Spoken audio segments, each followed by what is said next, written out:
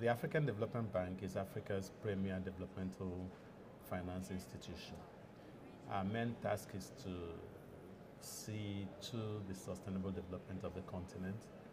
And we've also seen that climate change is really a developmental issue. It's not an environmental thing. And we've seen the threats that the continent is going through, not just projected to go through.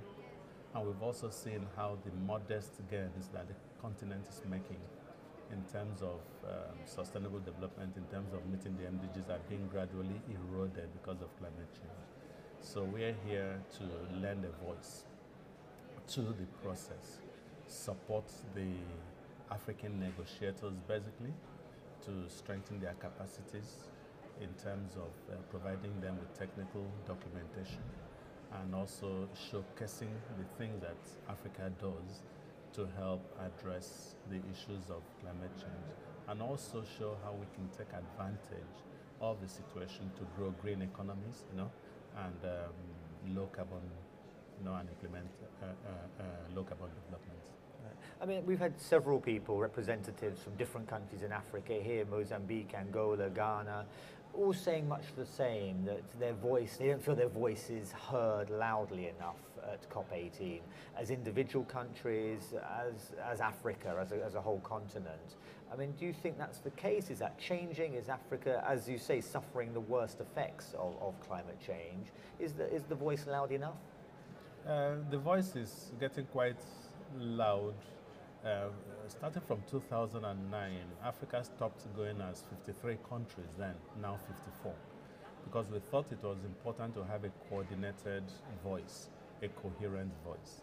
And the African Development Bank has been very instrumental in bringing that to pass because we saw there was really no gain in having 54 small little countries, you know, talking sometimes at cross purpose.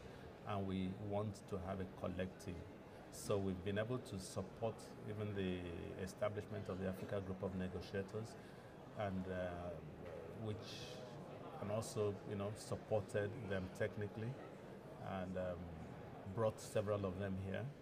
Uh, implemented intersessional programs for them, you know, to enable them know exactly what the issues are.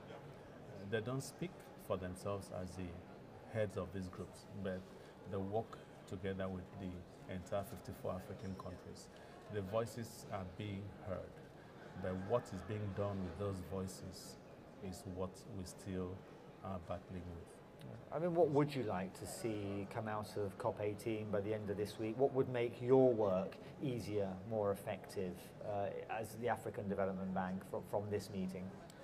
First, we would like to see a collective decision on a clear process for the second commitment period of the Kyoto. Um, we've seen that right now we